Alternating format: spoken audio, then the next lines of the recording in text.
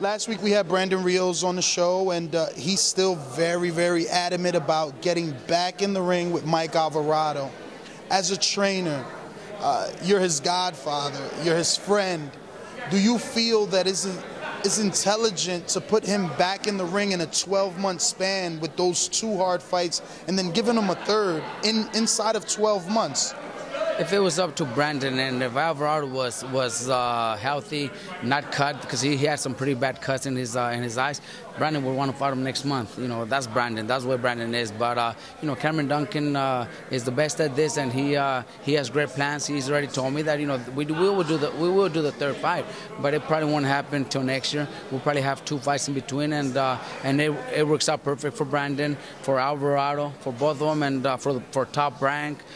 so I think that's that's the plan. I don't know exactly what's going to happen, what Top Rank has lined up for both of them, but I know that's what Cameron Dunkin told me. You know, we'll have two fights in between and then fight Alvarado again for the third time sometime next year. Two fights in between.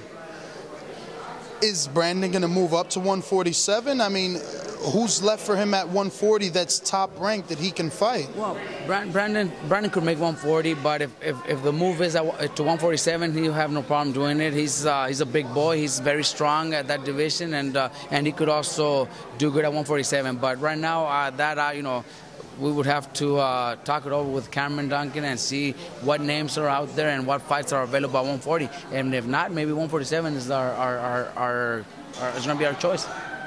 All right. Well, the fight fans definitely want to see him back in the ring. So many fans want to see him get his revenge.